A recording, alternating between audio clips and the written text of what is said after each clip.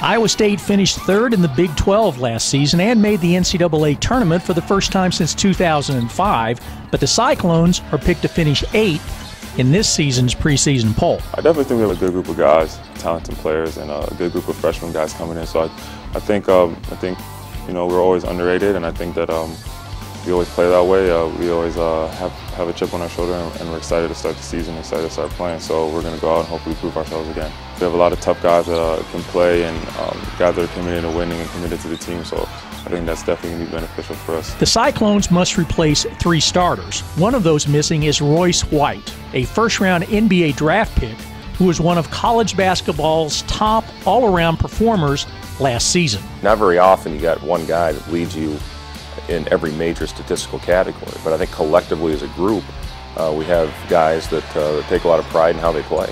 And, uh, you know, we'll, have, we'll play more conventional this season. We'll have a pure point guard again, where last year we didn't. And, you know, we had a 6'8", 270-pound player bringing the ball down the court a lot of times and being our main facilitator on offense.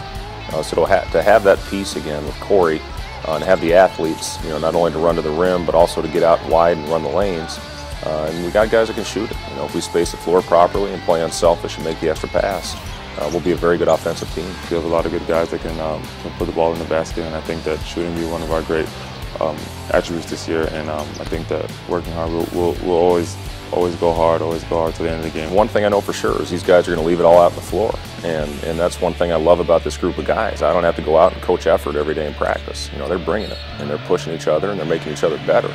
Uh, and that's what it's all about. I think this group will come out and I think we'll surprise some people.